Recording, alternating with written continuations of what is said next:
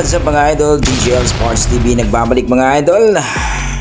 Update po tayo at breaking news po tayo mga idol sa sparring na nilabas ng ating uh, Quadralas It's My Boy na si Kuya Ludes o Jason Casimero ang ating head coach ng ating uh, pampato na si Quadralas Casimero. Ang kanyang uh, ka-sparring mga idol ito si PT Apolinar. Ito yung uh, tinalo po ni uh, Taki o Yoshiki Taki sa Japan mga idol ang uh, kampiyon ng OPP na kung saan ay number 1 po ang ating pambato na si Cuadrolas Casimero dito sa OPP na si uh, Yoshiki Taki.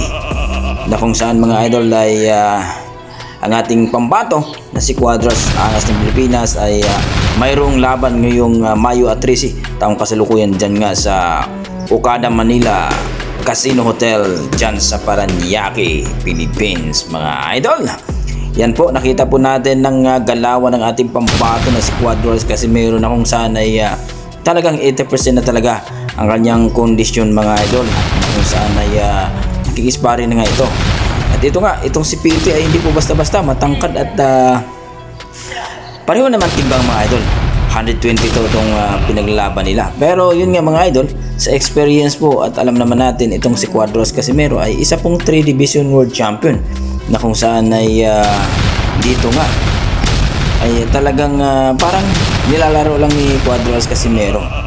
Wika nga ni Kuya Lods dito mga idol eh wag mong uluhin o ano, wag mong uh, seryosohin kasi baka maya eh alam naman natin mga idol na itong si Quadros Casimero ay uh, minsan ay hindi po makapagtimpi at hindi makapagkontrol.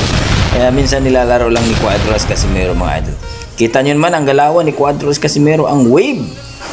No, ang napakaganda dito mga idol, itong si Quadros Casimero ay talaga namang uh, todo ang kanyang uh, ensayo at ngayon po sa pakipag-sparring na naman ang kanyang tirada. Kayo mga idol, ano masasabi niyo dito sa video ito at sa uh, sparring session ni Quadros Casimiro. E-comment nyo sa baba mga idol. Maraming salamat.